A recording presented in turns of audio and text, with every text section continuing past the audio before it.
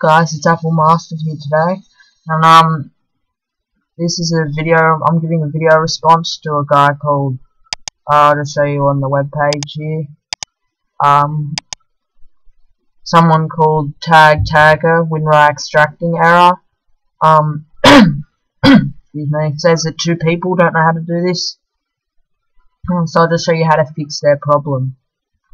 Um, please tag tag us, subscribe to my channel, and like my videos or whatever.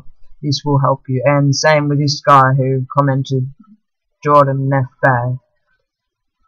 Okay, so let's get started. What you're gonna have to do is um go to your WinRAR file or whatever it is. Like in your case, it was something um whatever file. Just go to your WinRAR file all your files that have been that don't work or corrupt. And then I'll just go to any one of them I'll go this file here. And when you try to go go right click extract files and then you should get something with this. What you're going to have to do is click keep broken files so you're going to have to um, press that and then press OK.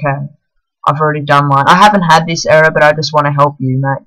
Uh, yes, so keep broken files. Make sure you click tick that. I saw on yours that it didn't have that, so then just click Save Settings, and then OK.